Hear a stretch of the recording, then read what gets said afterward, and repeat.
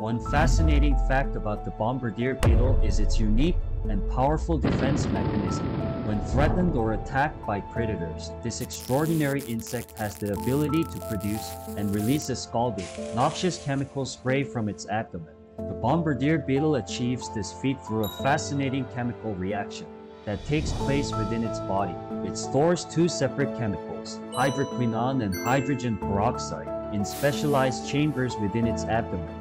When it feels threatened, it releases these chemicals into a reaction chamber where they mix with catalytic enzymes, triggering a rapid-firing chemical reaction.